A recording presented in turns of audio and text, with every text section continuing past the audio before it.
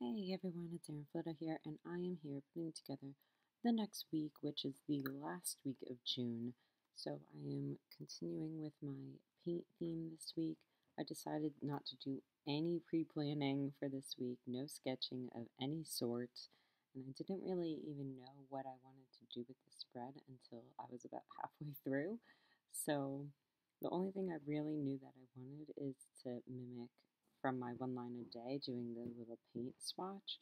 And I didn't really accomplish it how I wanted to. I wanted it to go more horizontal like I did with the other one. But this ended up working anyways, so it's okay. Um, I was not able to do an intro and an outro because I had a contractor here working on the kitchen and one, I didn't want him to think I was weird, that I was just kind of talking to myself upstairs, and also because uh, there was a lot of noise going on that day uh, while he was working. So this week I am doing kind of a mixture of spreads that I really like.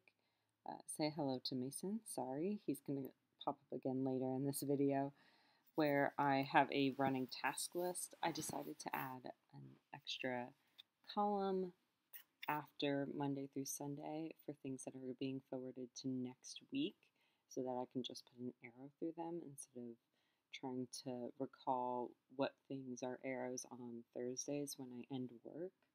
So that way I can just kind of look down that column. So I decided to add that extra column in. And then I decided to do kind of an events log on this side where I have four spaces for each day to write down my main meetings and events. Sorry if you can hear that. That is my new dog. Her name is Malia. She's adorable. Um, so I have. She also drinks very loudly. Sorry for adding some ASMR into your life. So I have this on our schedule from Monday through Sunday and then a little notes section. And then on the other side, I really didn't know what I wanted to do with that, but I ended up adding a habit tracker. Oh, this is.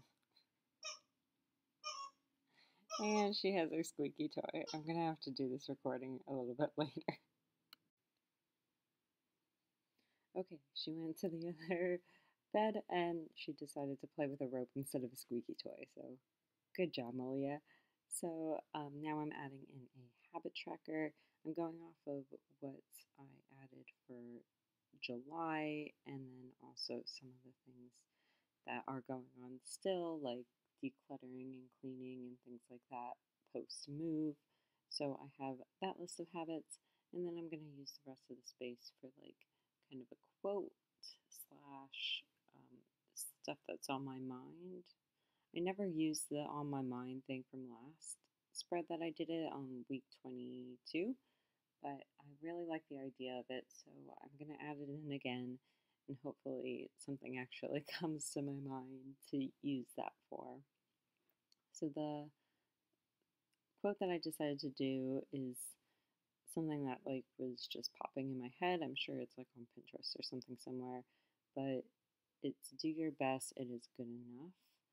So, with my whole house in shambles, um, just trying to chip away at all of the things that I need to do is good enough for me. So, that's why I decided to do that quote.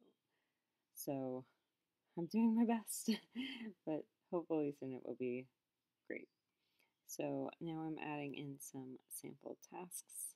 Actually, these aren't sample tasks, these are actual tasks that I need to get done but these are things that I needed to migrate from last week that um, came up on Thursday and that I didn't have written down anywhere, and then a few other tasks.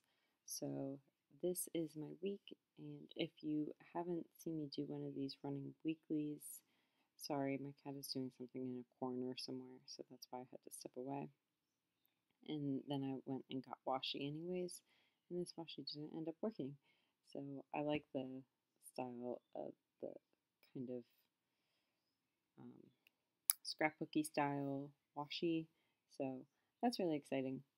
So that is the rest of my week. But if you haven't seen me doing this running task list, I'll put something in the card above so that you can uh, check out what I mean by that running task list. and I will see you guys on Friday. Bye, everyone.